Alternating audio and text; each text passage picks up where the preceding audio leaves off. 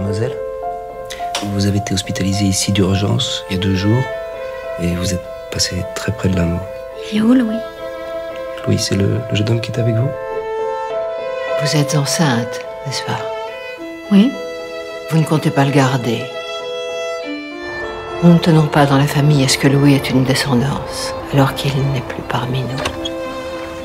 C'est ta mère qui t'envoie, c'est ça? Non, pas du tout, elle est pas au courant. Alors pourquoi t'es là?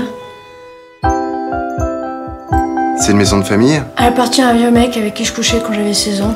Et il sait que t'es enceinte Écoute, j'aime pas trop les interrogatoires, alors ok, je suis une fille sympa, mais s'il te plaît, tu me fous la paix, tu poses pas de questions. dream of togetherness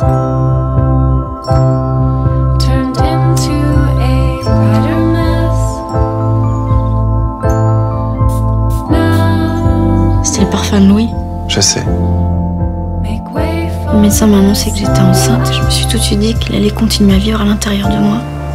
Peut-être que c'est une connerie. Regardez cet enfant, peut-être qu'il sera bousillé à cause de toute cette histoire.